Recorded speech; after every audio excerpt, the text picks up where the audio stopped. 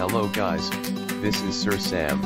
If this channel helps you, please subscribe and leave your comments and hit the notification bell for more updated video tutorial. Thank you. Okay, ah, magandang araw sa inyo lahat.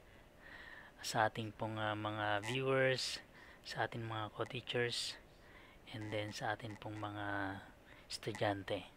So today's topic is about how to use hyperlink in PowerPoint. So samahan nyo ka guys. Let's go! Hyperlinks is a word, phrase, or image that you can link onto jump to a new document. So, yan po yung mag-jump sa another document or a new section within the document okay, o yung current document. Hyperlinks are found in nearly all web pages, allowing users to click their way from page to page. So, meron din po yung steps by steps na procedure on how to create hyperlink. Number one, select the text or images that you want to hyperlink. Number two, right click on the text or image you selected and click on hyperlink. And then number three you will see an insert hyperlink dialog box which opens on clicking hyperlink. So mag uh, mag uh, appear po yung dialog box. Okay?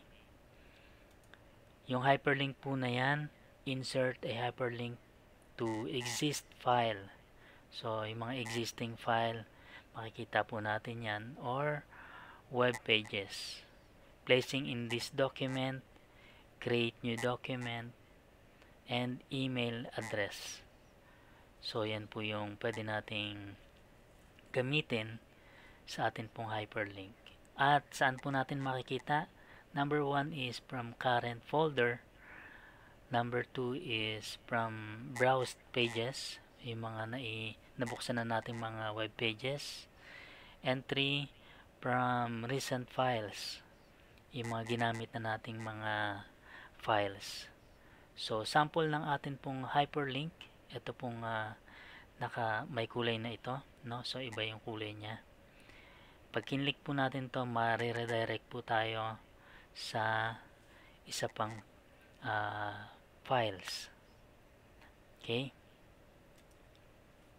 Ayan, ito po yung ginamit natin nung nakaraang video tutorial. Yung disadvantages of ICT. Icon for save files. So, ayan po yung example ng atin pong hyperlink. So, ang gagawin natin today ay gagawin naman natin yung hyperlink. Ayan. Okay, open po tayo ng atin pong uh, PowerPoint.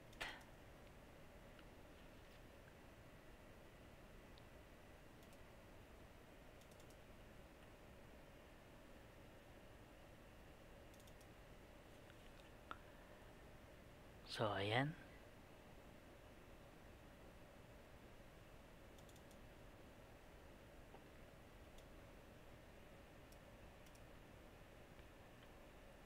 Ito po yung ginamit natin nung nakaraan. So ang gagawin natin is i-highlight natin itong save files. So pagkatapos natin i-highlight i-right click natin at makikita po natin yung hyperlink. Click po natin yan. Ayan po. Insert hyperlink to existing file or web page. Place in this document, create new document, and email address. So, lahat po yan ay itatakil po natin, gagamitin po natin today. So, dito po muna tayo sa existing file. Paano siya gagamitin? Uh, hanapin po natin siya sa current folder.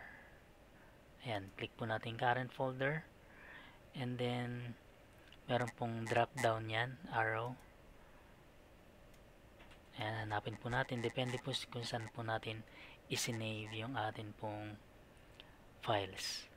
So, sa, nasa desktop po yung gagamitin natin. Yung empowerment technology. So, click po natin. Pili po tayo dito. ICT platforms ang gagamitin natin. Then, click OK. So, nagbago po yung atin pong uh, text. Ano po? So, ibig sabihin, meron na po yung hyperlink. Yan, pwede po nating gamitin yung control sa ating pong keyboard. At pag uh, hinold po natin yan, magbabago yung ating cursor. Ayan, naging uh, hand uh, cursor yung atin pong mouse. So, pag kinlik po natin yan, mariredirect po tayo doon sa another file. So, click po natin. Ayun. So, na-redirect po tayo. And then, gamitin naman natin yung another hyperlink. So, highlight po natin yung ICT. And then, right-click. Then, click hyperlink. Yan. Now, gamitin naman po natin yung place in this document. So, click natin yan. Ayan. So, from uh, first uh, slide, ay gagamitin natin yung uh, pip slide niya. Ito po. I-click po natin ito. Ayan. Mariredirect po tayo doon sa panglima. Ito po. Dito po. From first slide, mag-jump doon sa pang fifth slide. Okay, click po natin yung okay. And then magbabago ulit yung atin pong ICT text. Magbabago po ng kulay yan. So, try natin. Click. Okay. Ayun. So, nagbago po. Ibig sabihin, meron na po yung link. So, hold control and then click. Tingnan natin kung mag-jump po doon sa ating slide na sa pang pip slide. Click natin. Ayun. So, nag-jump po siya sa pang pip slide. Okay. Hyperlink again tayo. Gamitin natin yung ibang link. So, technologies. I-right click po natin ulit. And then, click natin yung hyperlink. Ngayon naman, ang gagamitin natin is create new document. So, click natin to. And then, nakalagay dyan, name of new document. So, lalagyan na kagad natin ng ating uh, pangalan no, ng ating new document. So, kailangan uh, pag, sa pag-create ng new document, no, ilagay nyo na kagad yung inyong file name. Okay, para ma malaman ninyo kung ano yung file name na i-create ninyo. Okay, madaling tandaan yon kapag alam po ninyo yung file name. So, search some and then click natin yung okay. And then magpapakita dyan yung blank PowerPoint. Okay, so click natin.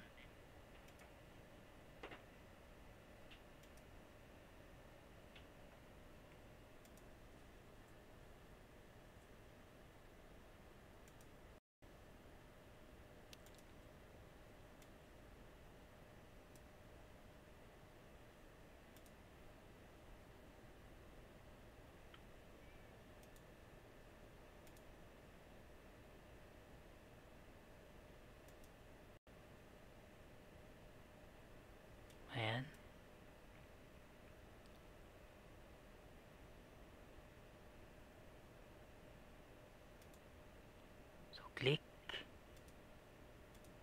And then nangyari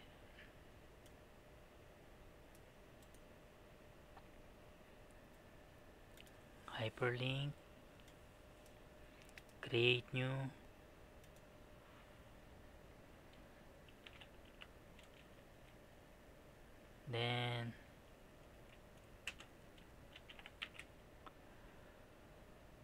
Sir Sam.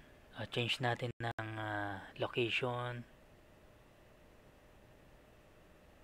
Lagay natin sa desktop.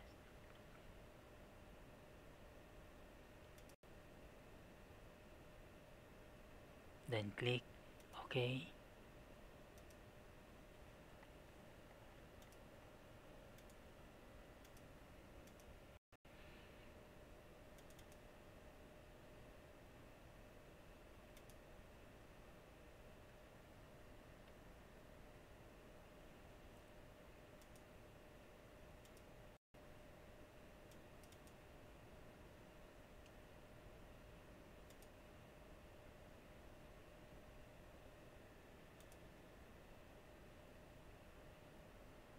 Ayun.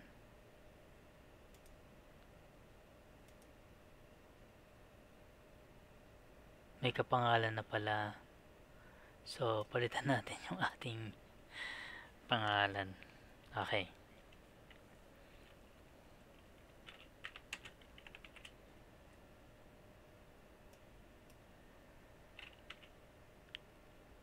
Okay. Ayan, so may kapangalan na pala si Sir Sam doon. okay, si San Sam na lang gamitin natin.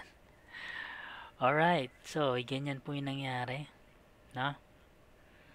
So, nagkaroon tayo ng uh, blank uh, document. So, next naman natin is yung i-hyperlink natin ay yung hyperlink natin yung email address. Ayan, say, let's say, biometrics. Okay, right click natin yan. And then click hyperlink again. Gamitin natin yung email address. Ayan. So, email address ni Sir Sam.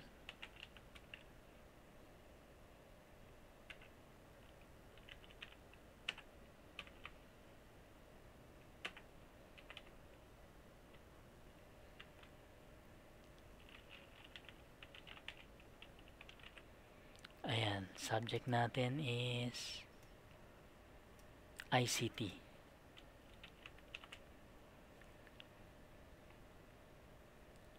So, nilagay na natin yung mail to. So, um, i-email si Sir Sam. So, titingnan natin yan mamaya kung meron na siyang email na.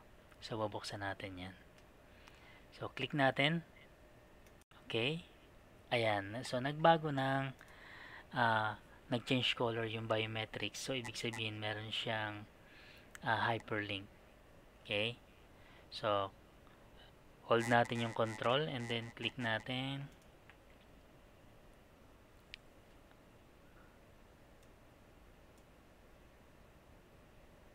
So, mag-a-appear yung ito Pakita ko lang po sa inyo kung ano yung nag-appear.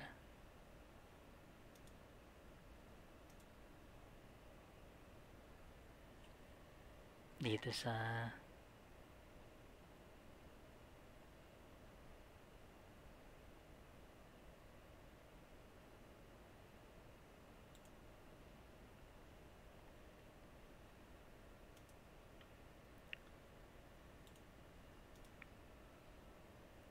nag-appear po siya dito sa kabila. Ayan. Yan po yung nag-appear no? click lang po natin itong uh, nakalagay po dyan how do you want to open this uh, mail no? click lang po natin to. Click. Okay. Oh, pwede yung uh, Google Chrome no? try po natin itong mail so ayan so pwede nating i-email si Sir Sam ano po?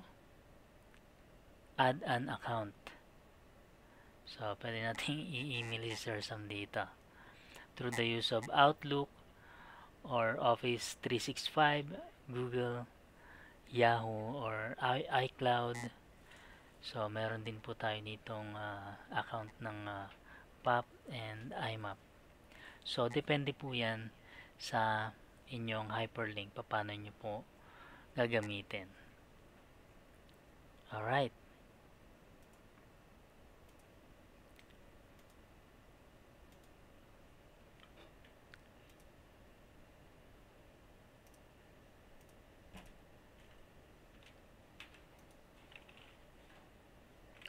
So, for that, thank you for watching.